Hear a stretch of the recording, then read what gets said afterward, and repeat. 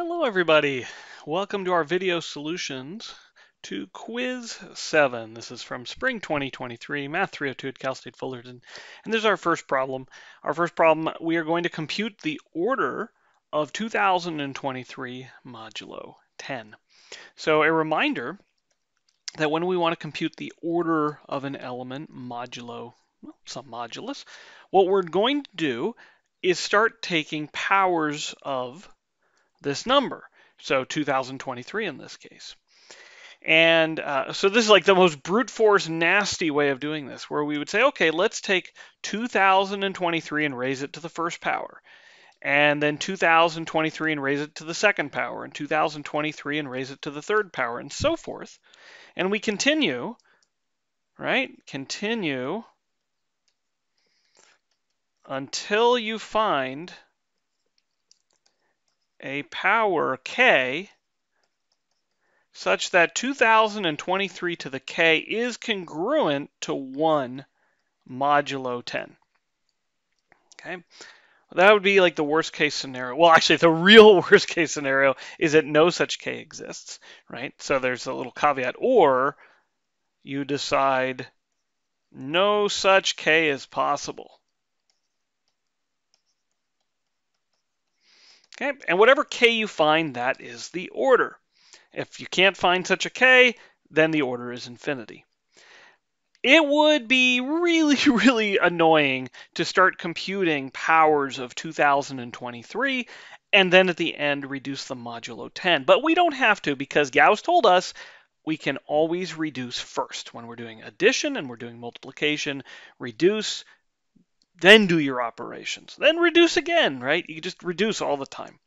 So what I want to do is reduce 2023 modulo 10 before I start taking powers. And reducing modulo 10 is, is really great. You just take the last digit, which in this case is a 3. Okay, uh, why is that? Well, uh, you know that when you write down any number, you can put it into base 10 and it looks like something like a0 times or plus a1 times 10 plus a2 times 10 squared plus uh, and so forth, right? a3 times 10 cubed, and you'll stop at some point, right? Maybe an times 10 to the n. And if we reduce this modulo 10, then all of these 10s become 0. Okay, so each of these 10s is a 0. Okay, and that's because, well, we know that 10 divides 10 minus 0, right? 10 is congruent to 0 mod 10 because 10 divides 10. Okay, so this implies 10 is congruent to 0 modulo 10. Right? Generally speaking, when we do some sort of modulo, right, specifically in the modular integers, but even very often uh, in some other cases, we're basically the thing we mod out by, in this case 10, we're treating as a zero. So in this case, all of our 10s become zeros, and so this is congruent to A naught modulo 10.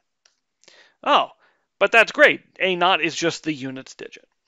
So 2023 is congruent modulo 10 to 3. So what we're actually going to do in practice is just take powers of 3. So let's try that. 3 to the first is, well, it's congruent to 3 because it's actually equal to 3. Okay, how about 3 squared? 3 squared is equal to 9, which is congruent to, well, 9 mod 10, but also it's congruent to negative 1. Now, why am I happy about that? Well, because we had a little result in class that told us as soon as we find negative 1 as the power, then we know that the order we're going to achieve by doubling this power. Okay, now, it doesn't mean anytime you have 3 to the k is congruent to negative 1 that the, power, the order is 2k. It just means if this is the first time that the power gives you negative 1, then the order will be twice. Okay, so immediately from here, 3 squared can, being congruent to negative 1 would imply that the order of 3 is 4, twice this power. Uh, if you don't believe it, you can just take another power and you say, okay, what's 3 cubed? Well, 3 cubed is going to be 3 times negative 1 okay, mod 10, because we knew 3 squared was negative 1. So 3 cubed is just multiplied by another 3. So this is congruent to negative 3. And now what's 3 to the fourth? Well, we just multiply negative 3 by another copy of 3. Here, we'll put the 3 first. Another copy of 3, and so we get negative 9. But negative 9 is congruent to 1 mod 10. And ah, there we go. We can see that the order is 4. All right, so uh, notice here, every time I'm doing my multiplications, I am reducing modulo 10 before I go on to the next step okay, whether it's the 2023 or uh, when I work around here and I, I, you know, change my negative nines into a one, like to make things easier, like I'm, or even a, a nine into a negative one, like I'm always at each step stopping and saying, okay, can I make this easier for the next step? Okay, you don't want to be sitting there the whole time going, okay, well now three to the first and three squared and three cubed and three to the fourth and what is three to the fourth? Oh, I got to figure that out now. No, no, no, we don't want to do that. All right, make your life easier. Okay? All right. We'll see you next time with problem two.